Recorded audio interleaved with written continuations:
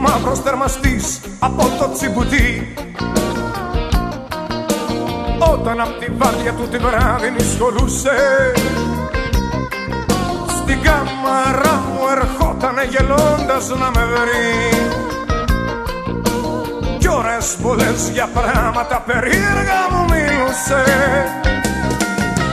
μου λέγε πως καπνίζουνε στα λιγέρι το χασίς και στο άντεν πως χορεύοντας πίνουν την άσπρη σκόνη.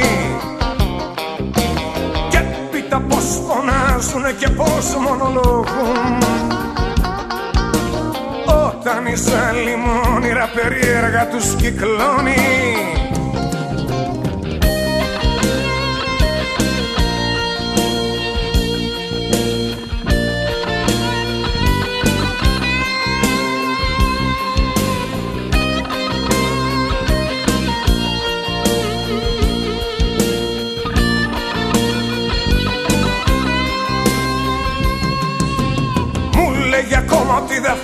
μιας νύχτα που είχε πιει.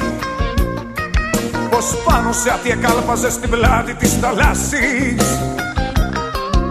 Και πίσω δεν του ετρέχανε γοργόνες με φτερά.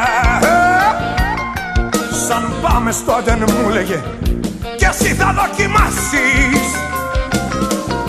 Εγώ γλυκά του χάριζα και λάμες ξουραφιών και του λέγα πως το χασί τον άνθρωπο σκοτώνει.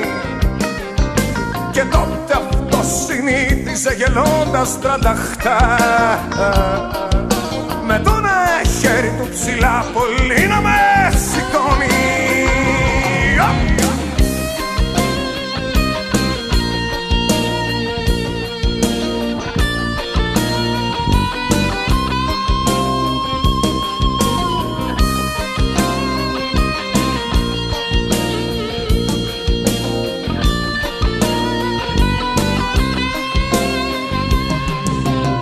στο τεράστιο σώμα του είχε μια θώα καρδιά. Κάποια νυχτιά μέσα στο μπαρ ρετζίνα στη Μαρσίλια.